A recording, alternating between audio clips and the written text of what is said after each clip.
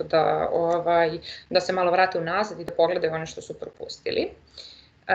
Naravno, pre svega, još jednom svima da vam poželim dobrodošlicu. Ovaj, kao što znate, mi smo se jako dugo radovali ovom događaju i neću vam mnogo da pričam o ovom događaju, tu ću priču prepustiti našoj koleginici Zorani. Ja bih samo vama ukrala malo vremena na početku, ovaj, čisto da vam se predstavimo i da vas samo uputimo u način na koji možete učestvovati u L&D Talksu i kako najbolje svi možemo da delimo iskustva. E, dakle, za početak, e, Semos Education je trening centar e, koji postoji već 25 godina. U Beogradu smo pre nekih par meseci proslavili prvi rođendan. Sarađujemo, kao što sam rekla, već 25 godina kako sa poslovnim korisnicima, tako i sa individualnim učesnicima i vidite otprilike koje su to brojke i sa koliko ljudi smo imali priliku da radimo.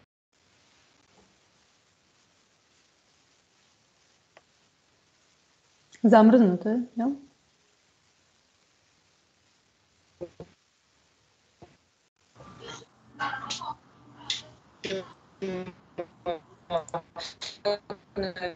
Evropi kao i zemljama Bliskog istoka.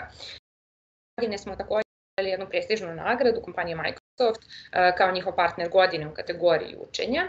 A pored kompanije Microsoft prepoznati smo i zvanični partneri, kao što vidite ove kompanije sa leve strane u oblasti informacijonih tehnologija. Takođe radimo i na zvaničnim obukama iz polja kreativnih industrija, projektnog menadžmenta. Imamo širok portfolio obuka koje su prilagođene takođe u oblasti informacijonih tehnologija. Evo za ovih godinu po dana koliko, smo, koliko radimo ovde, imali smo priliku da sarađujemo sa i velikim internacionalnim internacionalnim kompanijama i sa nekim inovativnim domaćim startupima, čak i sa vladom Srbije i negde smo sva ta iskustva koje smo stekli i hteli da podelimo večera sa vama. Evo ja ukratko samo da vam dam uputstva, verujem da ste svi verovatno već koristili Teams. E, molila bih vas da u toku izlaganja predavača i, dok ovaj, e, naše današnje gošće budu pričale, e, da se mutirate. Imaćemo pitanje koje je baš posvećeno pitanjima, pitanjima i njihovim odgovorima i tada vas ohrabrujemo očekujemo da ovaj, se uključite i tonom i zvukom ili da nam pišete vaše pitanje u četu kako god da vam je lakše. E, stvarno želimo da ovaj događaj bude interaktivan, kao što smo već rekli, nije nam ambicija da imamo webinar, već stvarno jedno druženje na kome ćemo moći da razmenjujemo iskustva. E, kao što sam rekla na početku, e, potrudit ćemo se ovo da snimimo za sve one koji ovo žele da isprate, a možda večeras ipak nisu bili u prilici da nam se priključe. E, sve ove materijale ćete dobiti, poslaćemo vam mailom i video materijal, a i neke korisne stvari o kojima smo pričali. Tako da u suštini to je to od mene, ja ne bih više da dužim. Predstavila bih vam našu našeg današnjeg moderatora, ja ću da svoju ulogu kao uzmem ko moderator, ovaj, Zorana Radić je uh, od skora u našoj kompaniji, naša nova snaga, ovaj, naša nova koleginica na poziciji Learning and Business Development Managera. Uh, i cijela ova ideja i ova zajednica je takođe nešto što je plod njenog, jako, da kažem za sad, jako kratkog, ali plodnog rada i saradnje sa nama, tako da ja bih joj sada predala reč i prosto bih je zamolila da predstavi naše ostale učesnice se i da otvorimo ovaj L&D Talks.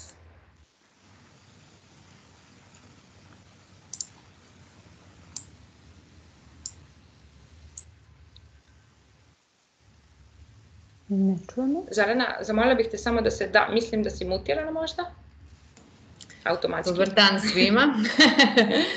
Ovaj, moje ime je Zorana Radić i kako me moja koleginica Svetlana lepo predstavila, ja sam od skoro uh, u deo SEMOS team, Learning and Business Development menadžera.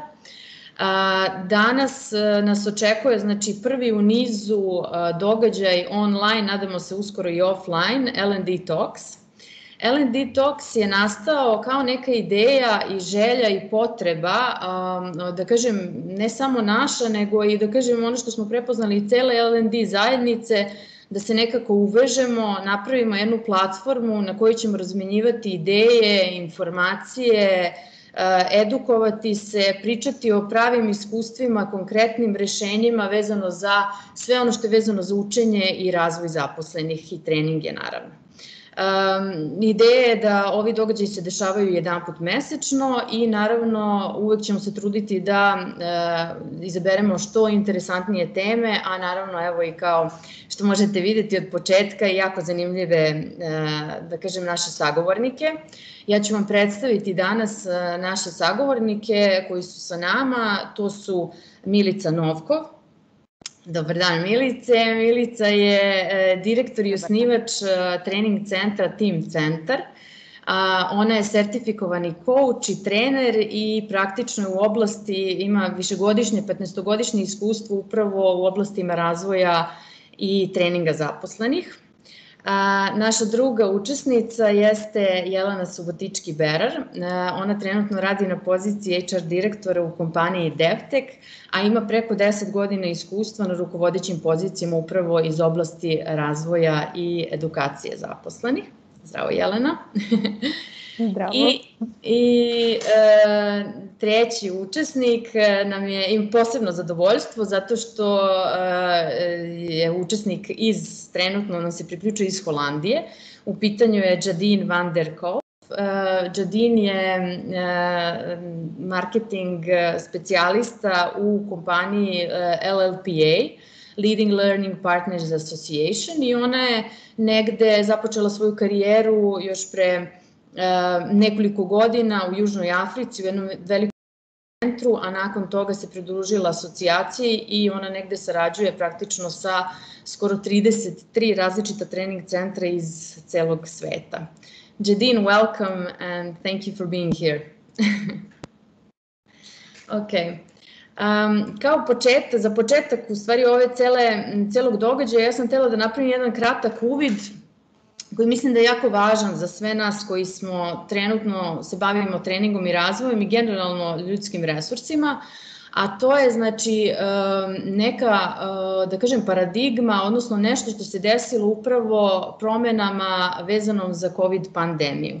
Znači, iz toga bih ja onako izdvojila dva neka pravca ili dve, dve neke važne stvari o kojima moramo da pričamo. Uh, Prva paradigma se odnosi upravo na e, to da smo nekako ubrzano ušli u e, digitalnu transformaciju. Digitalna transformacija je mnogo ranije počela, ali mislim da je COVID-19 upravo epidemija izazvala taj neki ubrzani ulazak u digitalnu transformaciju i samim tim e, mnoge kompanije su u toku ove godine bile primorane da promene svoje biznis modele. Šta to zapravo znači? Znači menjanjem biznis modela to znači da moraju i zaposleni i njihove veštine i njihova znanja isto tako da se promene. E, I ono što ne znam, sam, dok sam se pripremala za ovaj um, panel, um, čitala na LinkedIn Learningu, jeste da zapravo već mnoge kompanije su čak i u ovoj godini upravo počele uh, jaku strategiju uh, reskillinga i upskillinga, odnosno prekvalifikacije i dokvalifikacije svoje radne snage.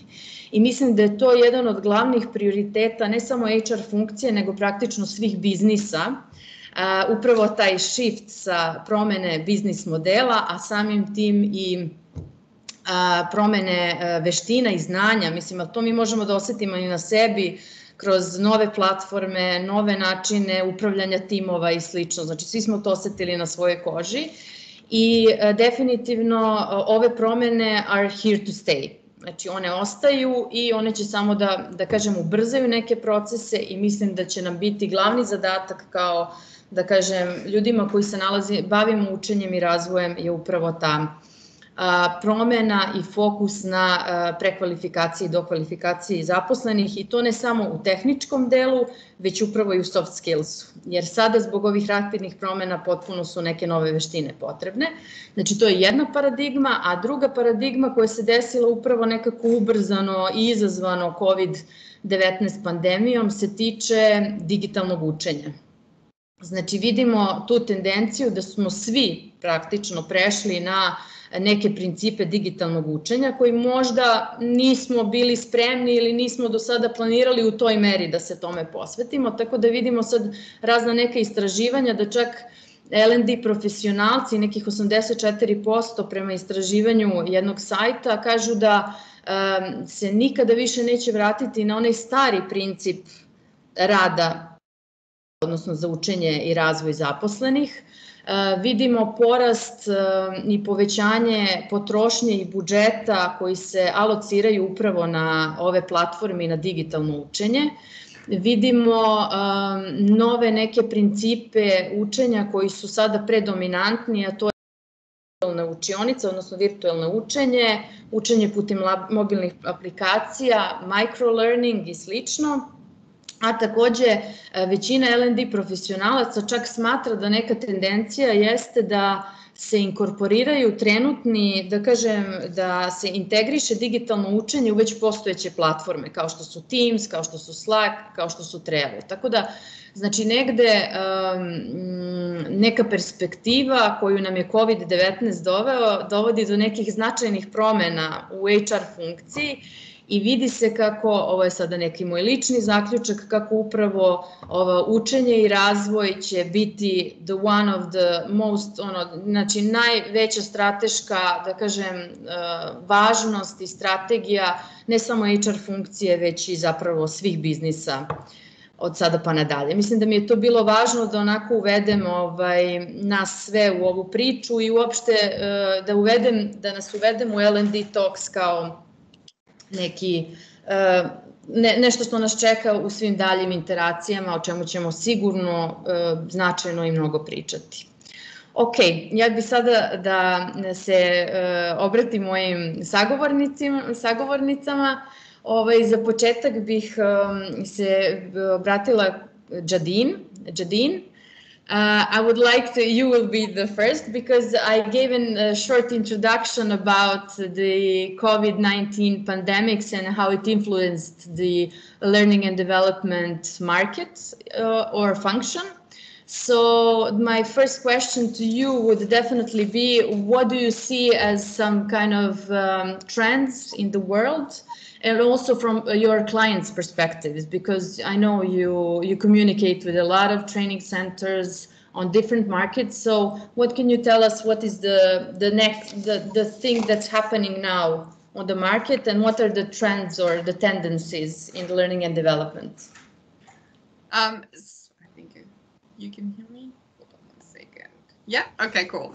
Um, so it's it's a rather broad uh, question. So I'm going to tackle it piece by piece. I see, uh, and I think you've mentioned this um, that the need or requirement for both a combination of hard and soft skills is is more now than it's ever been before.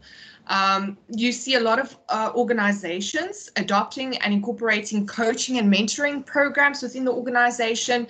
Uh, it seems to be a massive trend, uh, especially involving leadership teams to help support and improve internal skills. So that's quite uh, a, a, trendy uh, um, uh, process at the moment.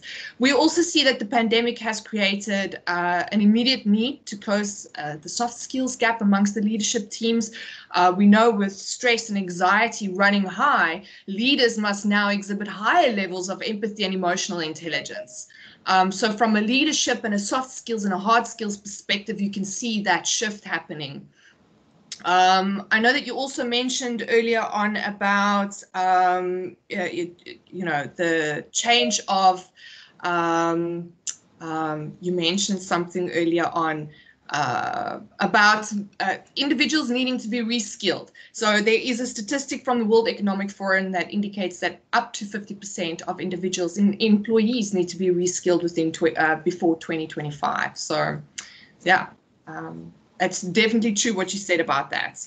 Yeah, they yeah. say that LinkedIn Learning says that 87% of CEOs are uh, seeing the skills gap right now. Yeah in few years it's going to be more big or bigger. So we need to you know start doing something now. But can you tell me something about closing the skills gap? I know that you um, as an llpa have a similar project or something very interesting going on. So can you just elaborate uh, what kind of uh, what ideas you're having in that mind?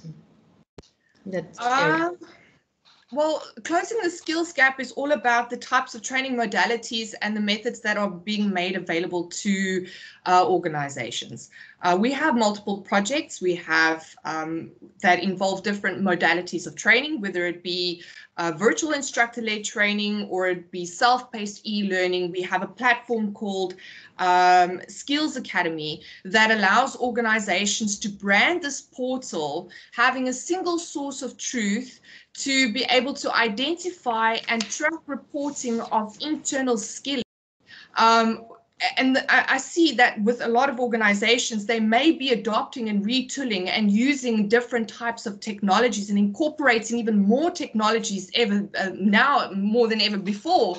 But um, they're still looking to use one service provider who can all their needs uh, through and, and, then connect all these re, uh, all these tools uh, through APIs and integrations.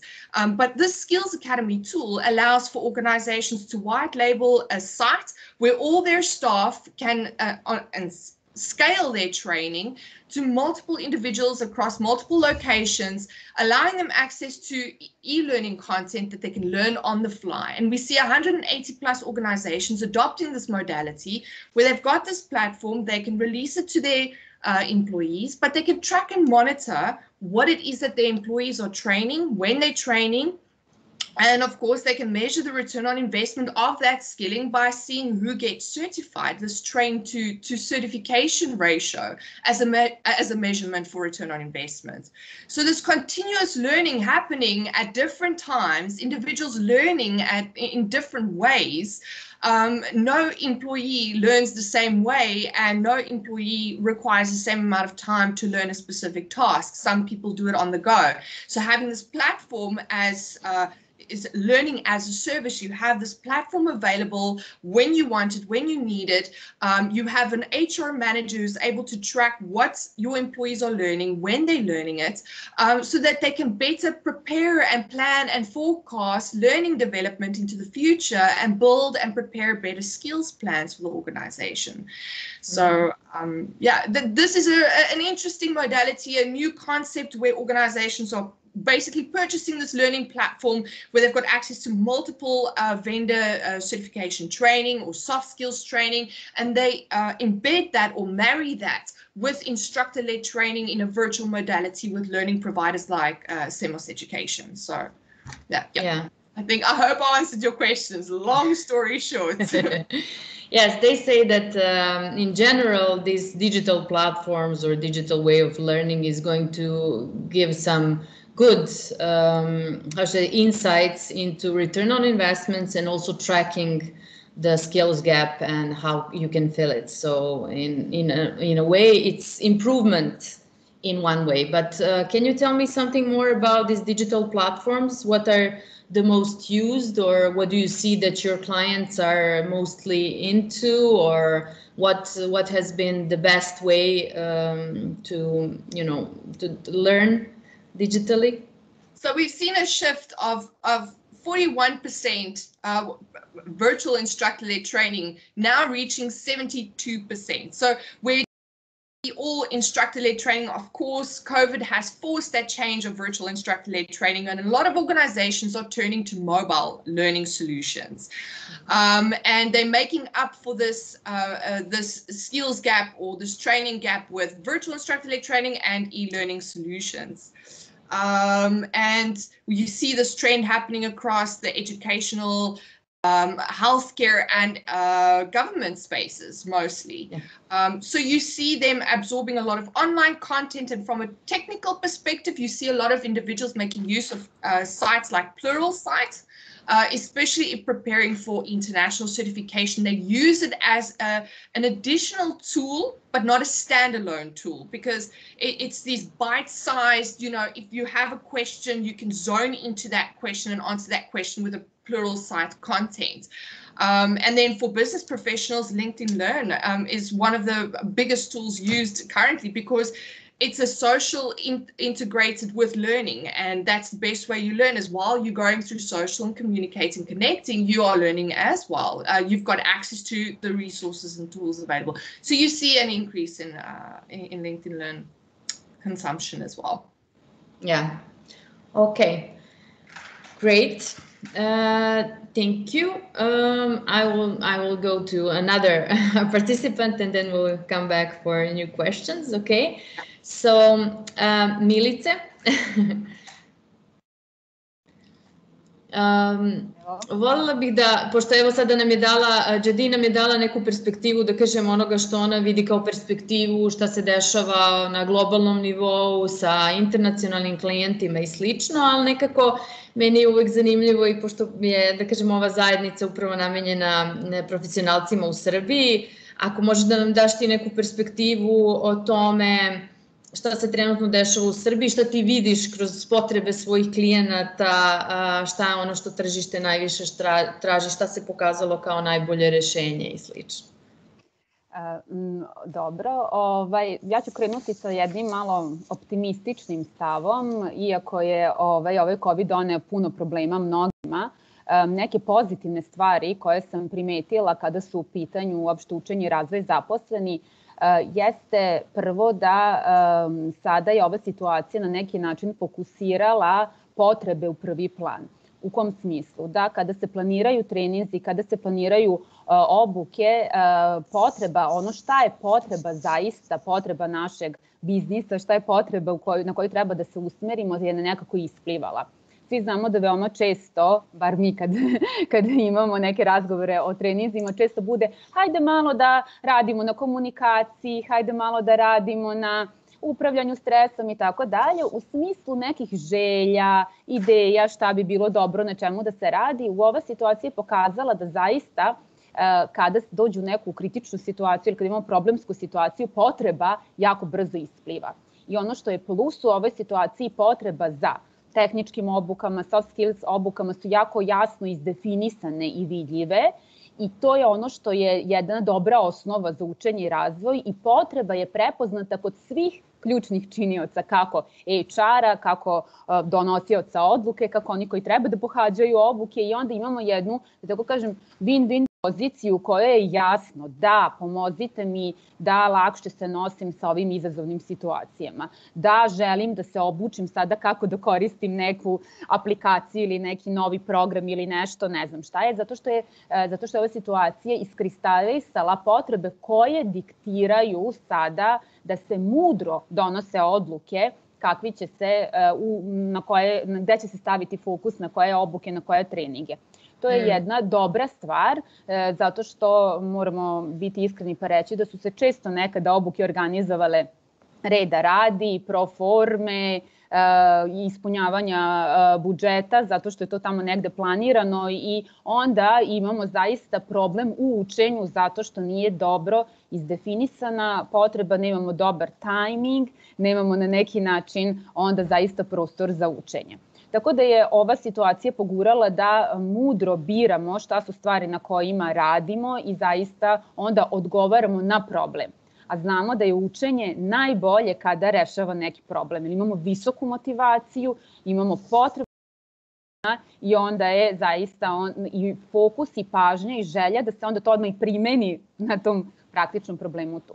Druga stvar koja je pozitivna jeste ta vrsta neke fleksibilnosti i kreativnosti koju su zaista ovako ljudi u okruženju sa kojima sarađujemo pokazali na visokom nivou. A to je da se prilagodimo različitim sada oblicima rada, kreativnost u smišljavanju tehnologije učenja i nešto što je bio trend koji je počinjao, to jeste, tako digitalizacija učenja i tako dalje, sad se mhm. samo ubrzao i um, jedna fleksibilnost koja je pre, prisutna i kreativnost u iznalaženju rešenja je zaista na visokom nivou, nivou i to su neke pozitivne strane koje ja sada vidim u ovom, u ovom periodu. Mm -hmm. A što se tiče nekih, izvini, Aha, slobodno, a što se tiče nekih tema ili nekih konkretnih stvari koje su vezane prvenstveno za soft skills teme, pošto su to tema kojima se ja bavim, jeste veliki fokus na osnaživanju lidera i baš mm, preko mm. tog momenta kako da budu otporniji, rezilijentniji, kako da oni zadrže motivaciju, kako bi dalje mogli da prenose motivaciju na na druge i um, jedna uopšte vrsta malo više psihološki potkovanih tema koje podrazumevaju sada neke koncepte uh, i um, podizanje veština na jedan viši nivo. mm -hmm. onih koji su, koji su zaista prisutni. Mm -hmm, mm -hmm. A, dosta smo nas dve pričale kada smo se pripremale za ovaj, ovaj panel. E, pričali smo i o tome kako zapravo imamo mnogo mogućnosti sada. Znaš, ima mnogo, da kažem, nekih tulova, mnogo nekih alata koji mogu da se koriste, mnogo nekih stvari koje su na raspolaganju, a tu je uvek pitanje, znači, koji je tu najbolji način kako pristupiti ovaj, e, izabi, odabiru toga su neki najbolji, da kažem, najbolje kombinacije ili najbolji principi kako se snaći sad u ovom novom, ovaj, u novoj realnosti, vezano za učenje i razvoj? E, pa ono što je jedan princip u učenju koji se isto često zanemaruje, a to je manje više, u smislu da jedna greška u učenju i uopšte u želji da napravimo neku promenu bude da bude svega, ono, tumač svega. I puno sadržaja i sad ću i ovo da koristim, sad ću da učim i sa ove platforme, sad ću i ovde, sad ću... I onda je to jedan um, prevelik priliv informacija, prevelik uh, kao opterećenost da mi ne znamo šta sada na neki način izgubimo se u, u moru tih različitih informacija koje do nas dolaze. Moj savjet je u tom smislu da se fokusiramo na jedan uži ono što se odlučimo, da li razvijamo neku veštinu, da li se usavršavamo u nekom uh, korišćenju neke specifične uh, programa koje to savladavamo, kako bismo zaista u jednoj jedinici vremena imali potpunu pažnju na učenju nečeg novog.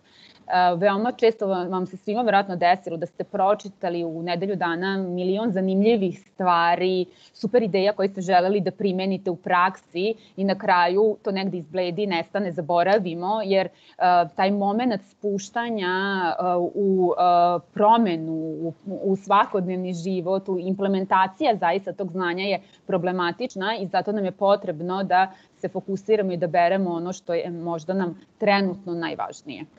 Mm, Tako mm -hmm. da princip manje je više. e da, meni što je zanimljivo, znači Team Centar je od skoro počeo da ima i digitalne, da kažem, odnosno svoje treninge na digitalnim platformama. Ove, jel možeš nešto da nam kažeš o tom iskustvu, kako se to pokazalo, da li postoji interesovanje, kako je to bilo za vas iskustvo, jer ste do sada, da kažem, radili više u tom offline modu, in class i slično. I uopšte kako ste se odlučili da nekako ispratite te trendove, to mi je onako zanimljivo ovaj, da, da, pro, da prodiskutujemo.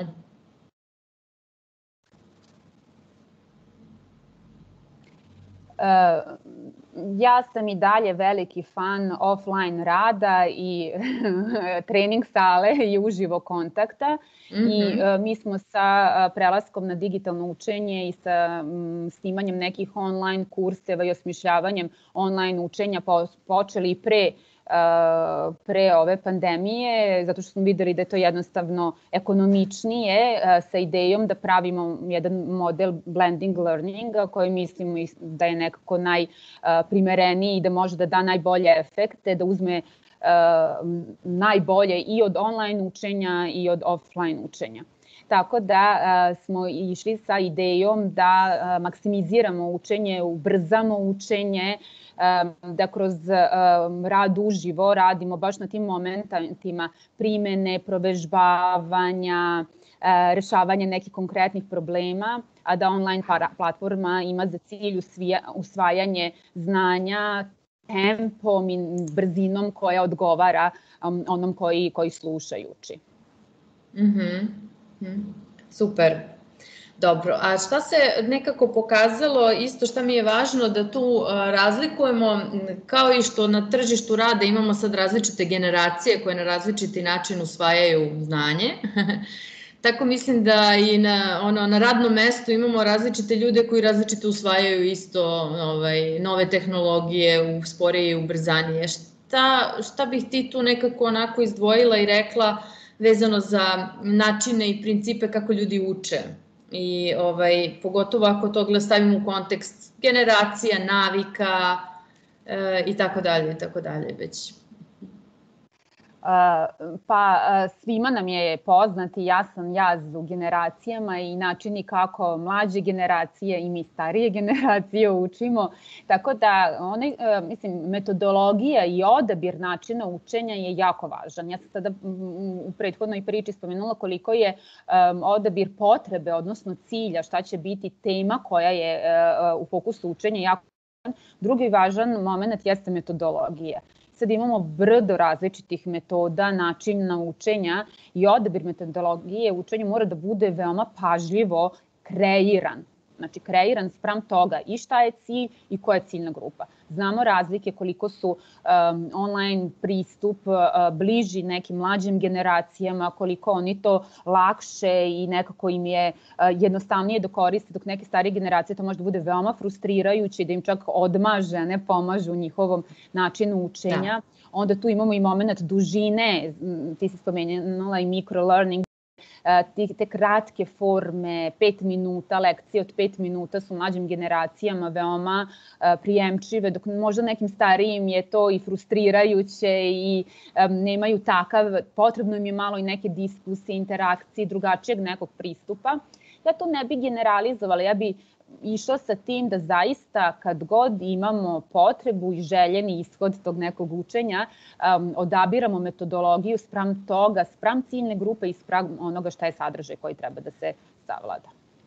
Mm -hmm, mm -hmm. Super, dobro. Hvala Milice.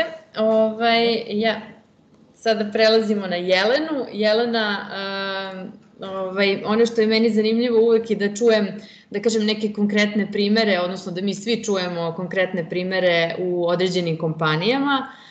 Kompanija DevTech, uh, evo, ja sam stvarno bila onako posle našeg razgovora stvarno impresionirana ovaj, nekim stvarima i principima i onome što vi radite, pa ako bi mogla nekako da nam možda predoči šta je, na koji način vi trenirate i razvijate svoje zaposlene i koji su vam trenutno, da kažem, neki osnovni pravci u tom smislu, pogotovo uzimajući u obzir ovu celu COVID situaciju i sve te neke nove trendove koji se dešavaju.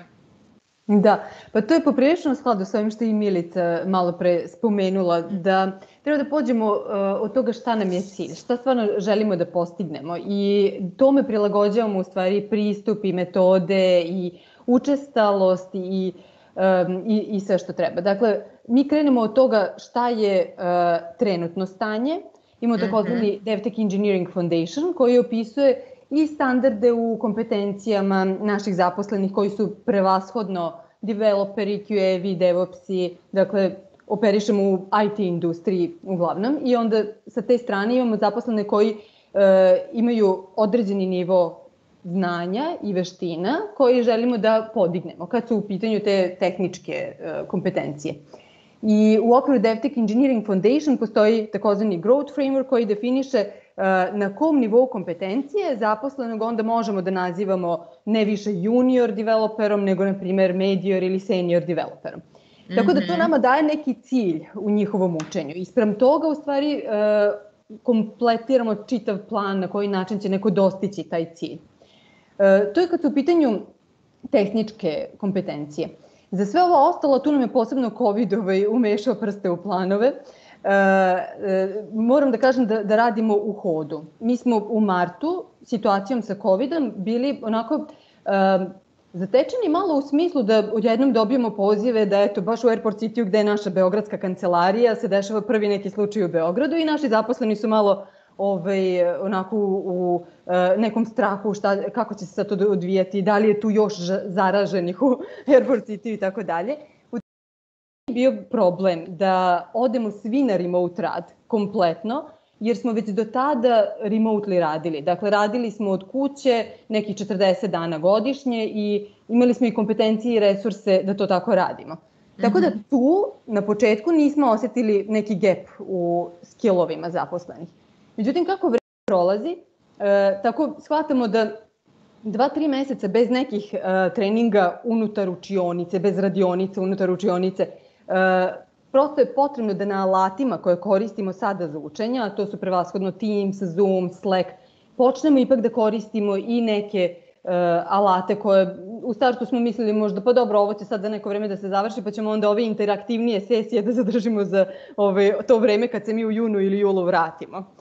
Međutim, jun i jul je prošao i, ovaj, i nismo se vratili i sad u stvari sve više osjećamo taj gap u korišćenju, na primjer whiteboarda u okviru Teamsa um, ili nekih drugih alata, polova, um, gapovi u smislu uh, facilitacije, E, prave interaktivnosti tokom online praćenja. Mm -hmm. Praćenja, mm -hmm. tako je. Tako da u svemu tome vidimo neke izazove i nekako se borimo sa njima i mislim da to sve ide napred, ide na bolje, ali ovaj, ne, ne mogu da kažem da nije izazov i da smo naviknuti samim tim što smo nekada ranije radili 40 dana remotely. Da, da. Jasno. Ok, e, da, to je isto zanimljivo. Znači, LinkedIn Learning zapravo govori u e, pravcu kako sada poboljšati engagement zaposlenih kroz to digitalno učenje. Znači, te nova istraživanja se upravo baziraju na to da kako da se engageuju zaposleni, pa posle kako da se meri taj engagement kroz digitalne platforme, jer svi smo primetili te neke nedostatke ovaj, te vrste učenja i zato je možda i najbolja, kao što je Milica rekla, ta neka kombinacija online, da. offline, jer onda nekako daje najbolji rezultat. Ali ono što je meni bilo zanimljivo isto Jelena kad smo nas dve pričale i e, pripremale se za ovo, ovaj e, panel jeste e, ceo taj neki pristup koji vi imate u DevTechu, a to je znači taj neki peer learning, znači učenje praktično on the job i od strane da kažem, ono, prenošenje znanja unutar kompanije. Jel bi mogla nešto malo više o tome da nam kažeš? Mislim da je to baš stvarno jedan sjajan primer i m, sigurno će ovaj, ostali slušalci biti, ovaj, bit će zanimljivo da čuju. Pa jeste, čini mi se da i Jadin rekla nešto na tu temu, učimo sada svugde i na sve moguće načine, veoma različite, tako da i mi u Devteku u stvari uh, uh, formalno organizujemo resurse, načine, kažemo zaposlenima na koje sve načine se uči, ali ono što primećujemo kroz praksu je da e, još bolje uče kada su zaraženi tim idejama, na primjer o mentorstvu. Mislim, pre nekoliko godina, nedavno sam pričala sa dvojicom kolega koji su pre nekoliko godina QA inženjeri, obojica shvatili čitali neke trendove, neke blogove, shvatili da bez automation QA-a uh, neće moći za neko vreme. Njih dvojica su odlučili da ovaj, samostalno istražuju tu oblast da uče o tome kako to mogu da rade. Mm -hmm. Jedan je bio seniorni QA, drugi je bio junior i senior QA je bio mentor junior QA-u. E, to je tada DevTech u tom trenutku i formalizovao kao formalni mentorski program. Međutim, šta se ovih dana dešava? Kolega koji je tada bio junior QA, sada je već i on seniorniji i on sad kaže, osjeća on potrebu da nekome on bude mentor i bez toga da smo ga mi pozvali i rekli, je, hajde sad da imamo tu potrebu ili evo sad ćemo da organizujemo formalno mentorski program. Uh, to, to je jedan primer dalje communities of practice, kada se kolege uh, slične ekspertize okupljaju, prave mesto gde oni dele najsvežije uh, blogove, članke, online kurseve. Dakle, sve to sad ide toliko brzo da mi, dok smo nekoliko godina ranije pokušavali da e, napravimo bazu najboljih online kurseva, sada shvatamo da se ti online kursevi najbolji prave maltene svakodnevno. I oni koji da. su u toj praksi, oni kada to međusobno dele dobijaju najsvežije znanja.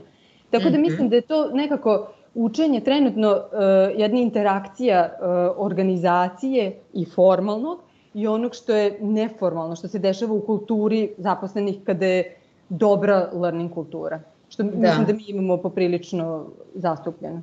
Da.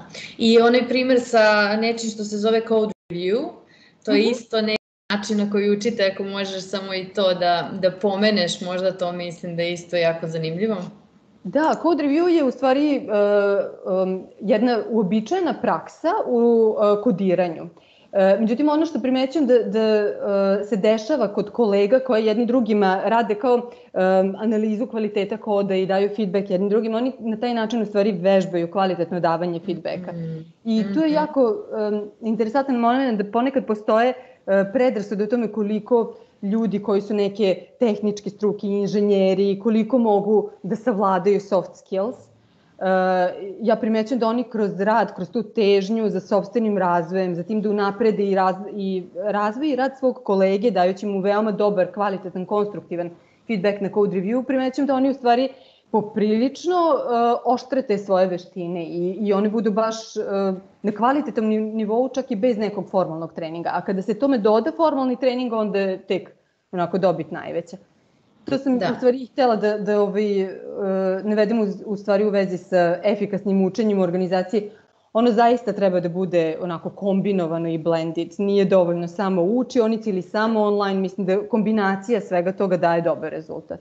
Mhm, mm mhm. Mm A pominjala si i kulturu učenja.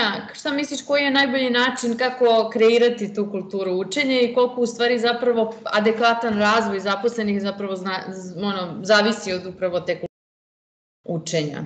Kako, kako misliš pa, da utiče? Mislim da mnogo zavisi, da mm. nekako, e, valjda zato što svi prođemo prvo kroz ono formalno obrazovanje, osnovnu srednju školu, očekujemo mm. da odlazimo mm. negde gde nam se neko znanje daje, a u stvari mislim da razvoj najviše zavisi od nas sami, da uh, svaki zaposlen je u stvari odgovoran za svoj razvoj i kada ljudi to tako shvate, oni uče konstantno. Uče ne samo onda kada su na formalno organizovanom treningu, mentorskom ili shadowing programu, već u hodu, u interakciji sa kolegama i to je ta kultura. Sad ima tu mnogo nekih aspekata, pa e, način na koji reagujemo kada neko napravi grešku, da li E, se okupimo na sastanku retrospektive gde ćemo da analiziramo kako je došlo do te greške, kako možemo da naučimo iz nje, da preveniramo da se ponovi.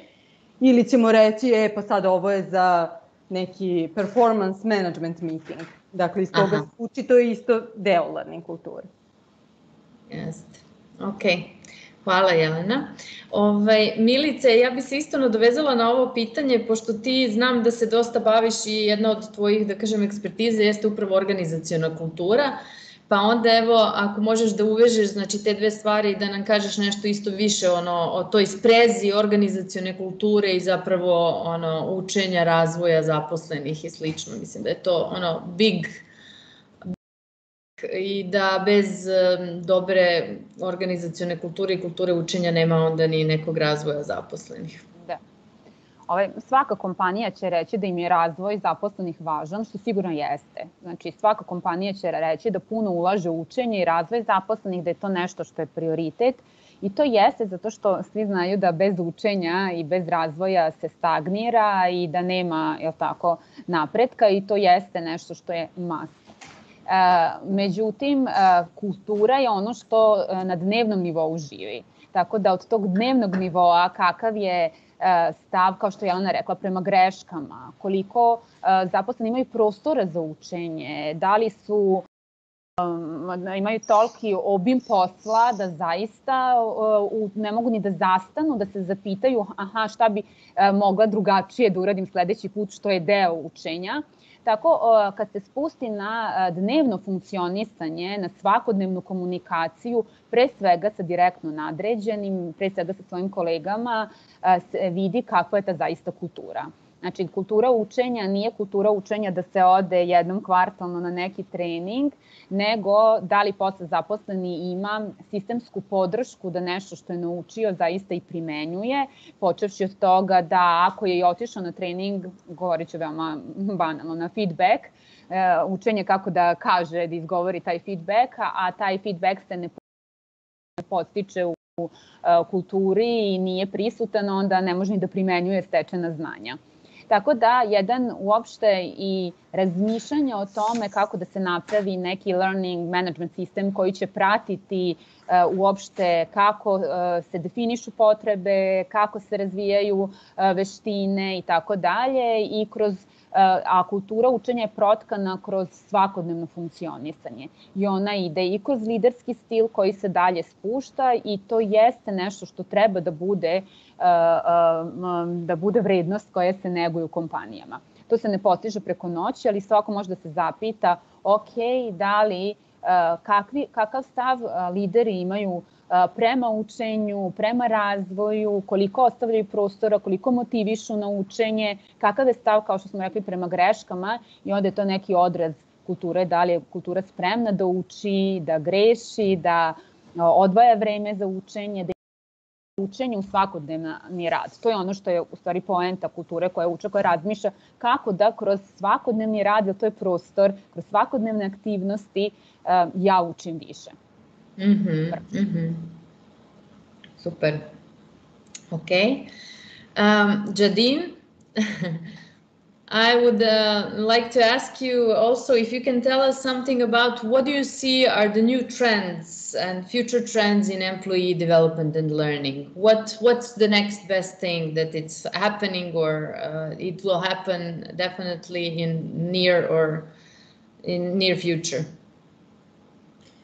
Um, so I think definitely group learning and the whole coaching and mentoring. I I must reiterate that that now more than ever we are learning from each other and we're learning at a faster pace.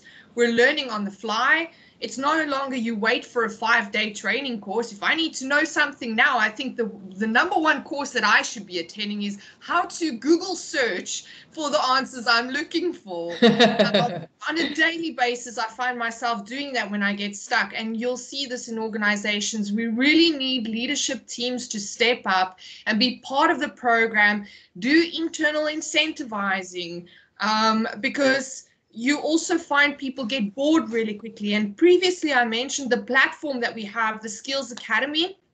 You know what's so unique about having a centralized platform like that is that uh, during the course of three to six months, you start to pick up employees interested in courses completing courses you didn't even know they were capable of doing.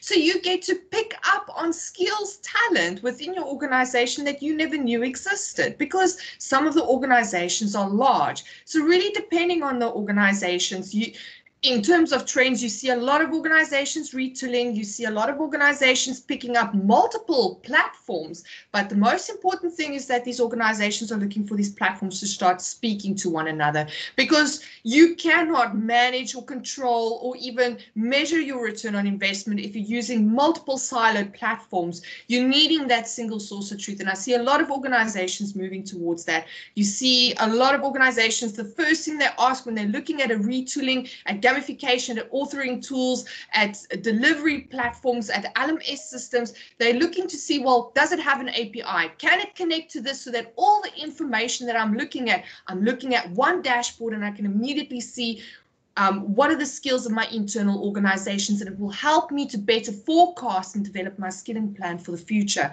And that way, I'm managing my budget better. So mm-hmm. that, yeah, it's a win-win. Win-win, yes.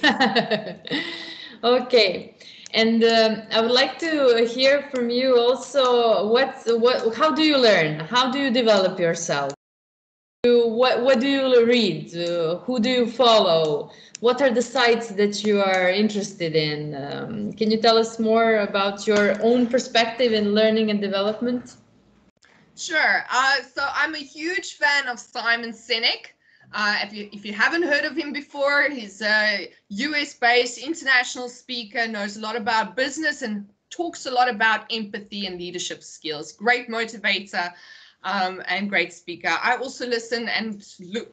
Yeah, I watch Guy Kawasaki. I don't know if you've ever heard of it. That's the books I read um, and Gary Vee from a marketing perspective. So always following the leaders in the things that I have interest in. That that is what I tend to do. If uh, there's always that one person that kind of stands out from the crowd, and you follow him and and or her, and you learn as you go along, and you pick up on things. Uh, I, on on the other hand, like I said previously, Google search everything I need to know. Google is my best friend. okay. Uh, but my yeah, I use LinkedIn Learn on a on a regular basis as well, just to you know on those soft skills elements um, to to help just to motivate or reiterate on some of the things that I've maybe done in the past, but just need a slight reminder. Um, you know, going back on a couple of things. So that's what I would use. Yes. Great. Ok, Jelena, um, isto pitanje i za tebe, znači onako nekako uvek ja volim da i da podelim i da nešto naučimo svi jedni od drugih, a to je na koji način se ti lično razvijaš, na koji način ti učiš i koje su to neke platforme, sajtovi, influenceri, um, tokovi, šta pratiš, šta gledaš i, o, i šta te zanima, pa mislim da će biti zanimljivo i ostalim učesnicima da čuju i možda i da, da krenu da koriste isto. Pa ja sam pristalica onog 70-20-10 modela koji nije naučno dokazan, to, to znam, ali mi je nekako praktičan da i svoj razvoj usmeravam na taj način. Tako da verujem da 70% se mi razvijamo iz iskustva i ja onda nekako pokušavam da u svom radu, kada na, na kvartalnom nivou ja imam objectives and key results koji su usmereni na sve aspekte HR-a ali uh, u nekom kvartalu bacim fokus na jednu od oblasti malo više, pa onda malo više čitam u vezi sa tim. Izložim sebe i webinarima i člancima i blogovima na, na tu temu. Tako da, da uh, taj 70-20-10 model izmešam ovaj, i kažem, fokusiram se prvo kroz uh, iskustvo, da više radim na tom projektu, više se uključim, onda ovaj, više čitam i učim o tome. Dalje, um, s vremena na vreme se posvetim nekom malo širem programu razvoja. Pa tako recimo jedne godine kažem e sada ću coachingom više da se bavim i onda prođem sve važne module u vezi sa coachingom. Onda mm -hmm. poslednji, što, poslednji veći program u koji sam se uključila je Academy to Innovate HR. Uh, to je jedan program u kom online možete u, u svom ritmu u stvari da učite o novim trendovima iako smo izloženi novim trendovima non stop i svugde, e, mislim da je korisno nekada uzeti e, prosto e, suženje i strukturu od strane nekog ko je baš edukovan za to i baš se posvetio tome. Tako da, mm -hmm. meni se dopada, na primjer, to možda ste vidjeli, to je AI, HR, onako plavi neki logo, imaju dosta su, ovaj, e, čini mi se, popularni u poslednjih e, možda godinu, dve dana. Tako da prolazim kroz njihov program i imam neku svoju listu, sad ćemo ovako pokazati totalno jedna analogna na listu papira, da držim zalepljenu na zidu.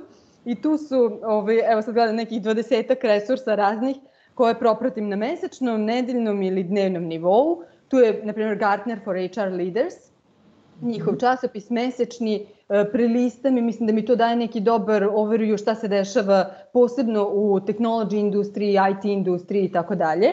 Uh, zatim HBR, standardno Training Industry magazin, um, sad samo da spomenem još neke LinkedIn Talent blog, jednom nedeljno ovaj, uh, kroz mail u stvari pro, propratim šta su neki najvažniji članci koji su se tu desili, uh, lokalno, Hello World, Netokracija, Startit, tako da više nekih različitih izvora da bih dobila kompletan neki overview. Mhm, mm mhm. Mm Super. Ok, Milice? uh, meni je uh, veoma drago, pošto je moj sastavni deo posla konstantno učenje, jer ja nekako moram da budem u treningu, ako druge učim, moram da budem u formi. Uh, ove, ovaj, tako da je meni to negde sastavni deo posla. E, šta učim, gde učim, zavisi u velikoj meri od onoga e, šta su potrebe i šta su neke situacije sa kojima se izazovi, sa kojima se susrećem. E, ja obožavam offline obuke, one dugačke, naporne, teške od ujutru do uveče, ako može da dođe neki strani govornik pa da se još mučimo na engleskom pa sa puno supervizije i tako. Ja volim takve obuke, zato bih preporučila coaching centar, oni organizuju odlične ovaj obuke i, i može da se nađe kod nas, jel tako, nekih, nekih dobrih i korisnih obuka.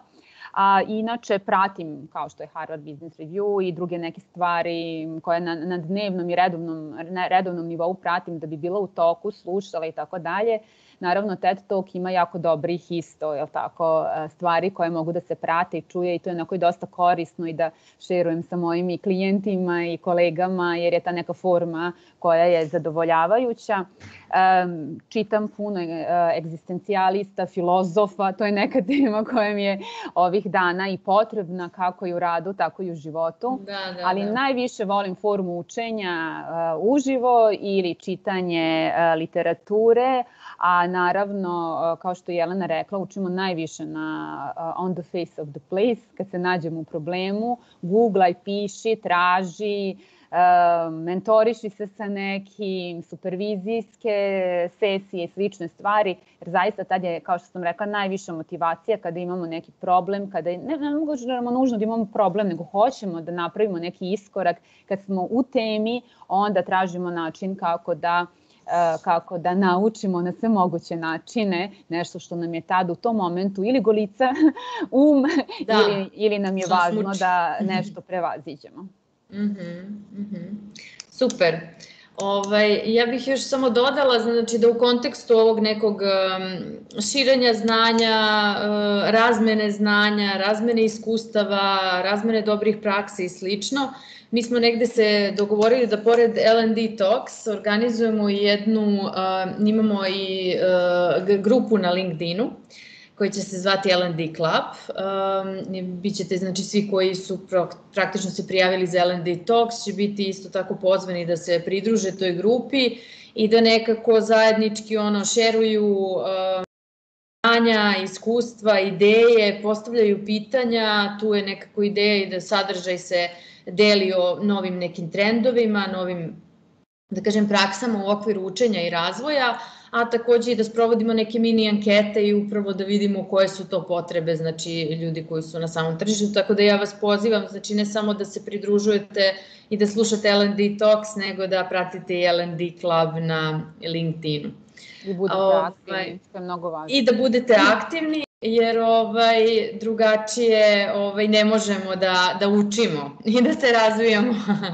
Najbolje učenje ovaj od od od drugih kolega. Tako da Ja bih sada vas pozvala, znači sve učesnike da se aktivno uključe i da postave pitanja. Ne znam, Svetlana, da li je neko možda do sada već u četu postavio pitanje. Negde smo mi ovih sat vremena zaokružili sa sa ovim osnovnim pitanjima, da li je bilo nekih pitanja učesnika, pa da onda krenemo sa ovaj, odgovorima. E, niko nam se za sad još nije ovaj, u četu odvažio, ali evo imamo samo videla sam jednu podignutu ruku.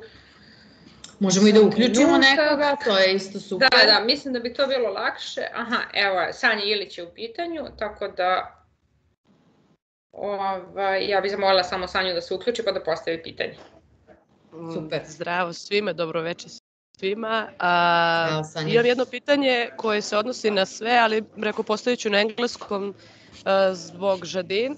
Mislim, zanima me da li i na, kako je to na internacionalnom nivou, ali kako je to i u Srbiji, a to je will this digital transformation have some consequences or it is just advantage for business, business models, corporations and employees? Znači, da li je to generalno, da li se odnosi na sve? Okay, so Jadine, you can also answer because um, Sanya asked in English, and then other uh, participants can also answer the question.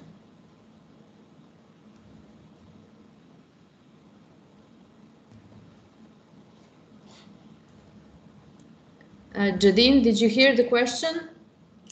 I think I got a little bit of that question. So if you oh. can maybe just repeat for me, please.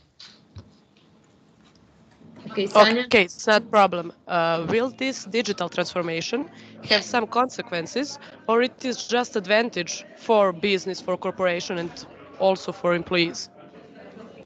That we must learn just digital. I think uh, it's not just a fad. Uh, a lot of people would refer to it as it's a business opportunity, it's a fad, it's something that will come and go, but this is something that's going to stay. This is like the fourth industrial revolution, um, where there's drastic changes within the market or something that happens within the market that requires all processes and businesses to change or rethink and think creatively on how they approach old business processes. We need to adapt or die.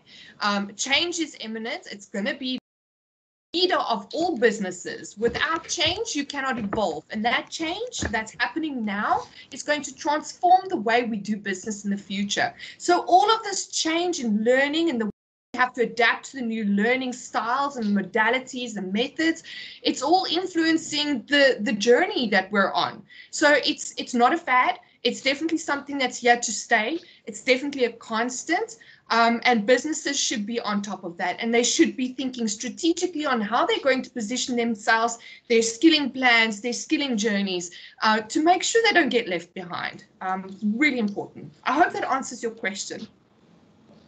Yes, we are. Thank you. Okay, great. Milice i Jelena, ne znam da li vi želite nešto da dodate možda vezano za ovo pitanje, a da Džedin nije ovaj, pokrila kroz odgovor. Ne. Ok. Slobodno, znači budite slobodni da postavite pitanje u četu ili možete svakako da se uključite, podignete ruku i, ovaj, i da nam onda odgovorite, odnosno nas pitate. Johana, Zdravo svima, Jovana ovde, TMF grupa. Imam jedno pitanje generalno za, za sve vaše gošće ili, ili za tebe. Kako generalno vaše kolege ili u stvari vaši zaposleni gledaju na učenje? Kao neku dodatnu aktivnost, kao možda želju, ali koju ne mogu ispuniti zbog nedostatka vremena ili kao vid uživanja? Mm -hmm. Ok, um, ja bih prepustila odgovor, e, na primer, Jeleni, ako bi želela da odgovori, ovaj, pošto trenutno je u takvoj poziciji da može da, da nam najbolje pre, kaže kako je to izgleda u jednoj kompaniji. da, e, kao što sam rekla, e, moje kompanije operišu u takvoj industriji u kojoj promene su brze, nove kompetencije brzo smenjuju one prethodne, poznavanje tehnologija zahteva konstantno um, uh, upgradeovanje sobstvenih veština, tako da um, naši zaposleni uh, ne, nemamo taj izazov da, da im treba objasniti da je, da je učenje nužno. Dakle, oni sami znaju uh, da je neophodno da kontinuirano uče. Uh, uvek ima tih izazova koliko se ja sad posvećujem projektu, koliko u okviru projekta mogu da učim, a koliko je potrebno da, ne znam, i van svog radnog vremena učim. Ja mislim da E, svi mi učimo konstantno i ovako kada e, ovaj, Jadine je spominjala toliko Google search, dakle to radimo i u radno vreme i van radnog vremena. Tokom radnog vremena, na primjer, e, zaposleni sa većim fokusom na učenje kreiraju u okviru svog projekta priliku za učenje. Na primjer, nekad kažu nije klijent uopšte zahtevao da mi sada napravimo efikasniji način da se nešto, na primjer, testira. Ali eto, nas dvoje smo znali da postoji tu neki trend, e, koleginici i ja smo ovaj, zajedno e, razradili kako bi to moglo da se efikasnije radi, predložili klijentu, klijent je to e, prihvatio, da mi investiramo tri radna dana, da učimo o tome da savladamo tehniku kojom ćemo dugoročno i klijentu proizvesti bolji efekat. Tako da, trenutno zapažam mnogo konstruktivnih stavova o tome kako učimo kroz posao i ovaj, nekako vidim da, da zaposleni koji žele da uče zaista pronalaze način i vreme za to. Mm. Ne znam da li je to odgovor. Čini mi se da možda postoji još neki aspekt pitanja, pa me dopuni ako treba. Ja mogu da se uključim sa nekim mojim prethodnim iskustvom iz kompanije u kojima sam radila. Znači, postoje tu neka dva nivoa, ako bih tako rekla. Znači, prvo imamo individualni nivo. Znači, individualni nivo je koliko je ko motivisan i željan da uči. Znači, to imamo osobe koje malo više su željne i motivisanije i prosto to im je neki, kao, kako bih rekla, ono, modus vivendi, a m, imaju osobe koje i nisu toliko motivisane, a onda s druge strane, uh, u mnogome, već smo se dotakli te teme, uh, kultura, odnosno zavisi od kulture učenja. Znači koliko je ta kultura zastupljena, koliko se ona odobrava, koliko je ona podržana od strane ono, lidera, u kompaniji, koliko ona je integrisana u svakodnevni rad i onda samim tim zavisi da li će zaposleni biti ono srećni ili će to što idu na trening ili na neku vrstu obuke ili će to osjećati kao, kako bih rekla, a, obavezu. Znači, čak i ono lideri kažu ja, on ide sad na trening i neće mi biti tu tri dana, a onda imate i zaposlene koji su u fazonu sad ću biti tri dana na treningu i neću ništa uspeti da radim onda ću posle posla morati da radim. Znači, bukvalno je, imamo ta, ja kako vidim dva aspekta, znači jedan je ono dosta individualni, imate ljudi koji obožavaju da uče i to im je neki ono, tako su navikli, ali onda jako zavisi od te kulture i do toga zavisi i to raspoloženje i odnos prema učenju i odnos prema treninzima i odnos prema svemu ostalom. Eto, to je, to je neko moje iskustvo, tako da ovaj, ne može se generalizovati, ali najviše će vam zavisiti koliko ste inkorporirali kulturu učenja u samu organizaciju. Okay. Važi, hvala po odgovoru. Naravno. Ovaj, čini mi se da sam videla neko pitanje e, mm -hmm. u četu. Mm -hmm. Svetlana. Imamo dva pitanja. Evo, ja ću ovako da pročitam prvo jedne učesnice koja je trenutno u procesu selekcije baš za jedan, ovaj, za, za poziciju na, na L&D poziciju u jednoj multinacionalnoj kompaniji. Ovaj, ona kaže da nije psiholog, već inicijalno je filolog i sada završio studiju u oblasti IT-a, da je jako interesuje mix HR-a i IT-a, pa da je zato i ovaj događaj vrlo zanimljiv. I pitanje za naše učesnice je šta mislite da je najbitnije da na toj poziciji uspem, to je budem uspešna?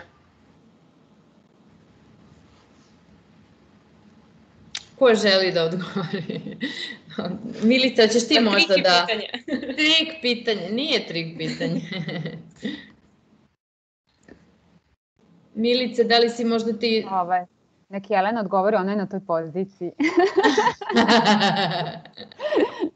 e, dobro. E, pa ja bih rekla da je jako važan e, proaktivan stav taj prema sobstvenom razvoju i, i kroz pitanje nekako mi se čini da, da ga već ima. Uh, mislim da je dobro u skladu sa kontekstom uh, gledati kako ja sad da uspem u, u tom poslu. Kompanije se međusobno razlikuju, potrebe kompanija u različitim fazama se razlikuju, tako da uh, ja mislim da je najvažnije da kada stupimo na neku takvu poziciju, um, L&D poziciju u nekoj multinacionalnoj kompaniji, da razgovaramo sa svojim liderom o tome uh, koje su to um, odrednice našeg uspeha na poziciji, šta je potrebno, šta na osnovu već e, procesa rekrutmenta lider vidi kao naše jake strane u kojima smo već sada super fit za to što treba da radimo, a gde misli možda da treba dodatno da se razvijamo. I mislim da takav neki razvojni plan koji bi se već od početka napravio tokom onboardinga, e, da ga treba revidirati vremenom. Tako da uh, mislim da ne postoji recept uh, koji bi mogao da se da za svakoga, za uh, različite kompanije, već više taj neki stav. Uh, tu sam da, da vidim šta je potrebno još da učim, kako ćemo zajedno da se razvijemo, da se uklapamo i tako dalje. E, imamo jedno zanimljivo pitanje. E, kaže, koje veštine nikada neće moći da se prebace na e-learning? To mogu i ja da odgovorim. Ovaj, ja mislim, što se tiče soft skills veština, da uh, većina veština može da se prebaci na e-learning. Tu prvenstveno mislim na neke obuke koje nisu, kad kažem uh, online obuke, mislim da nema trenera sa druge strane, nego da su ili neke ne online obuke, aplikacije za učenje ili slično. Uh, kad mi imamo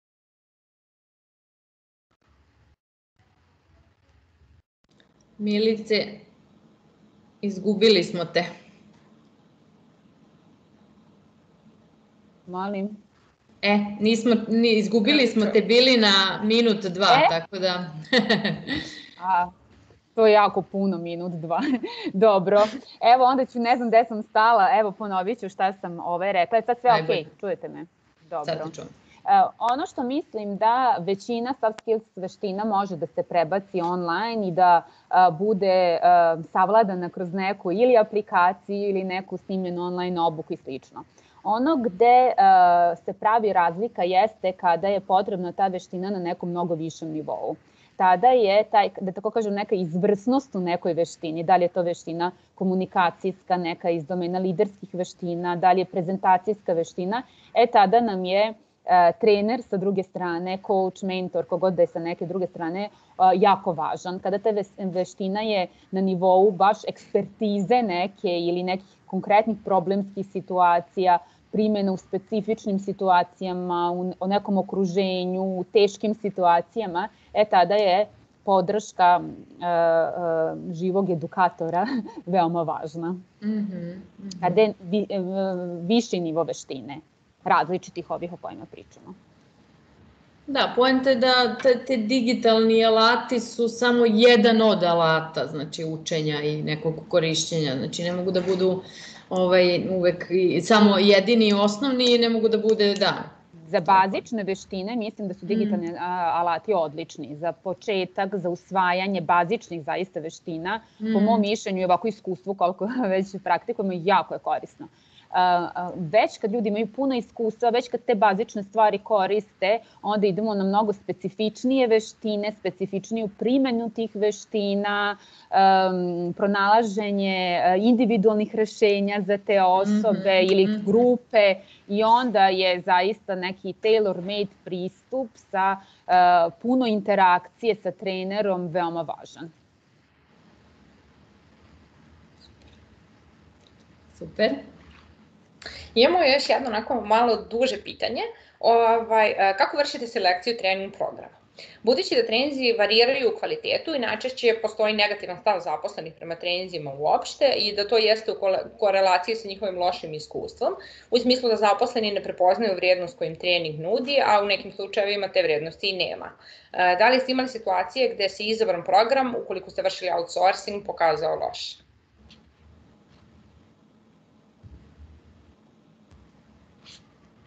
Evo ja mogu iz nekog svog iskustva, mogu koleginice posle da se nadovežu. Ovaj, pa mislim da pri odabiru je jako važno prvo referenca, drugo ono što sam ja uvek vodila računa jesu preporuke drugih HR kolega, zato je važna ta HR integracija, naša ono, saradnja, razmena mišljenja i tako dalje.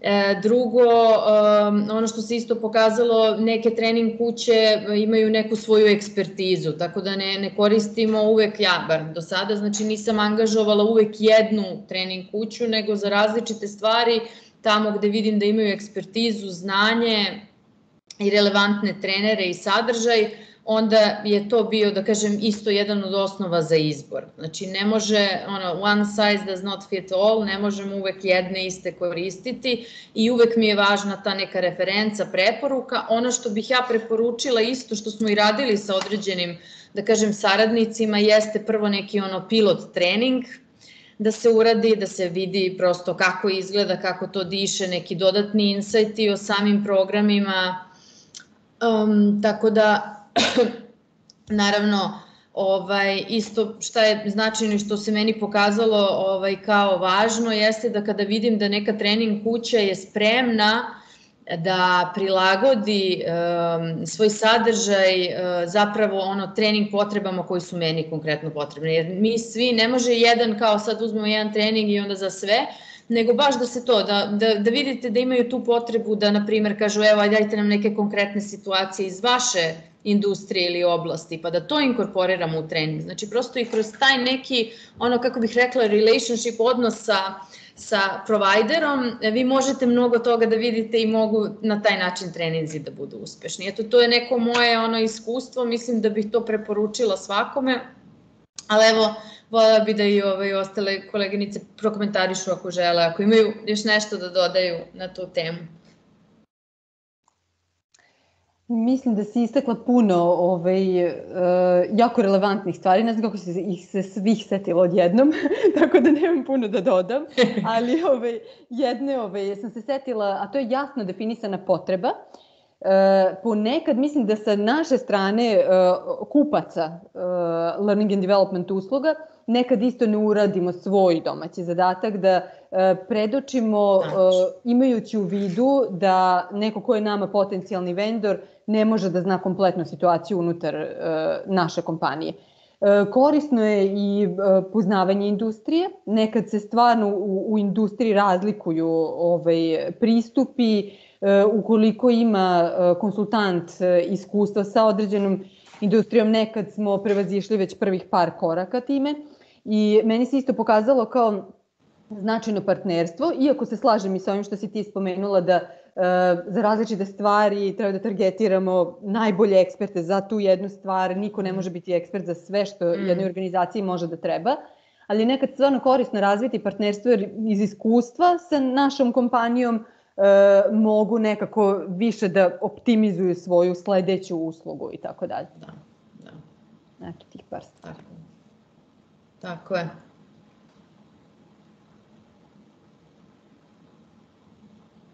E, imamo još pitanje u četu. E, kao postoji li neki uobičajeni karijer pet ka L&D odeljenju za HR početnike?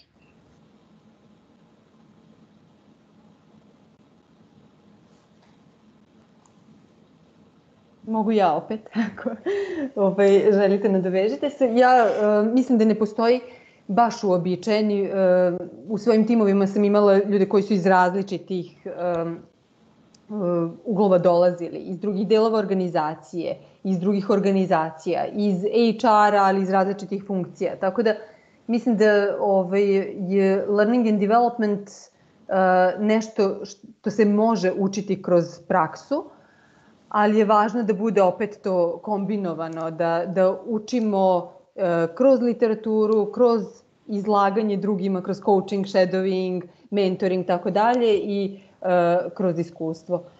Tako da mislim da, da kažem, ne postoji jedan jedini put.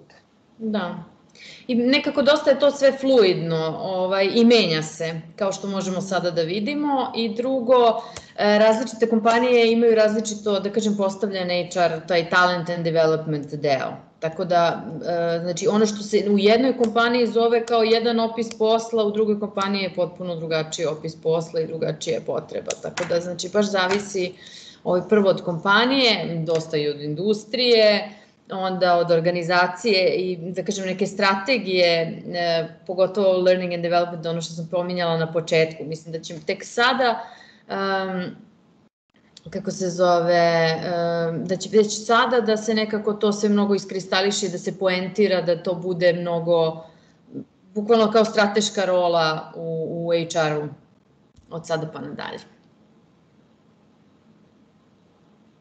Okay.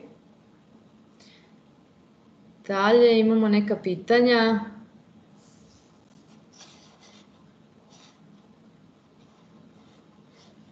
Imamo jedno pitanje. da li možete da izdvojite L&D program koji dao najbolje rezultate i u kojoj meri je bilo do programa, koliko do učesnika, neku formi case study? Mislim da ovo možda čak i dobar, dobra ideja za neki sledeći L&D. Ne znam baš koliko imamo vremena sada ovaj, za to pitanje, onako mislim da stvarno ima dosta primjera, ali evo ako neko ukratko hoće da odgovori, svakako ovaj, ostavimo.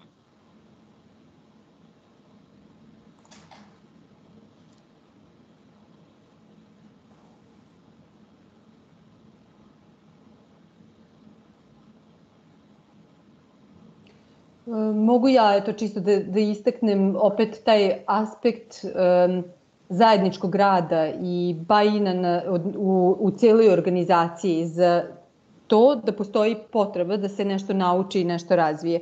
Kada uh, od top managementa pa preko svih zaposlenih u stvari verujemo da, da treba nešto da se usvoji i investiramo neko vreme, energiju u to, uh, to su uspešniji programi. Uh, ja sam u nekom prethodnom svom iskustvu imala priliku da učestvujem u izgradnji eh, programa koji je dobio i veliku globalnu nagradu.